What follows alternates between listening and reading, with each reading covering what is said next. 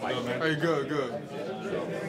So, uh, what, what do you know about the Buckeyes after short study on them? Uh, yeah, uh, we know that they're they're a very good team. They're a very talented team, and uh, you know they play in the Big the Big Ten, so they they, uh, they play against some great competition every single night. And uh, I know Keyshawn, he's from the same city that I'm from, so I, I've known him for a long time, and so I know he's going to be a good uh, good matchup uh, in that game for our team. So you and Keyshawn played against each other? Nah, nah, he's like he's like a couple years older than me, so uh, like my brother grew up with him, and uh, I went to the same uh, high school that he went to uh, at Gaston in Northside. Yes, sir. Have you watched film with them yet? Yeah, sir, we have. When you watch Keyshawn, what, what do you what do you see? Uh, he definitely.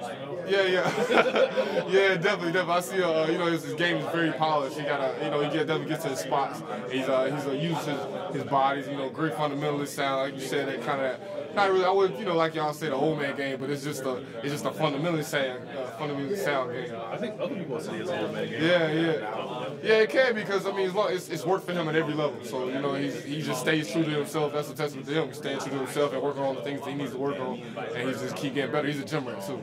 He's, he's been playing really well for them. He's sort of given them a secondary scorer, Mm-hmm. the big guy Wesson. What do you guys preparing to defend them? Like, what's it take to defend a guy like Keyshawn, who's not super explosive, but like you said, is a little crafty? Uh, just just stay stay true to our principles and just just stay solid. Not really try to do anything outside of our try not try to do too much. Just stay solid and, and just just play good defense and just stick to our defensive principles. Do you know him well enough to send, send any kind of message when you know you're playing each other? Uh, well, you know, it's a kind of we talked about. it. We've gotten messages from people back home. Uh, they've been telling us like how proud they are of us and how it's just been a great. Uh, it's gonna be a great game to watch because the whole city will probably be watching.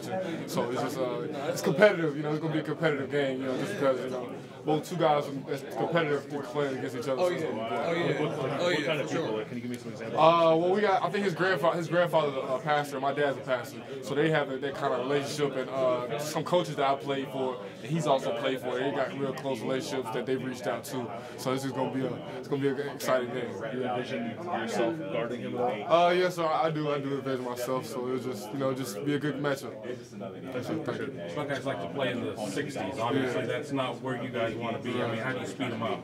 Uh, we just, just play our pace, play at a great pace, and just play uh, play fast. Just we got like a lot of depth, so we just gonna try to use our depth and uh, depth, and just just keep running at them. Monty says you guys